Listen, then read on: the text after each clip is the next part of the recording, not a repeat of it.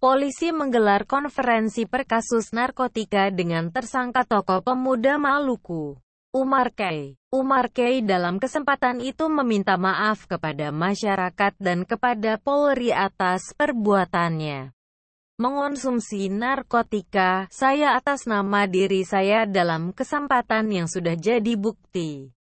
Saya menyatakan pertama saya mengatakan saya bersalah kepada seluruh masyarakat Indonesia. Kata Umar K. kepada wartawan di Polda Metro Jaya, Jakarta, Kamis, tanggal 15 Agustus tahun 2019. Umar Kay menyampaikan hal itu saat konferensi per di gedung Direktorat Narkoba Polda Metro Jaya. Pada hari ini, Umar mengaku menyesal menggunakan narkotika dan berjanji tidak akan menggunakannya lagi. Yang kedua, permohonan maaf saya kepada semua teman-teman yang ada di luar baik aparat di Polri juga.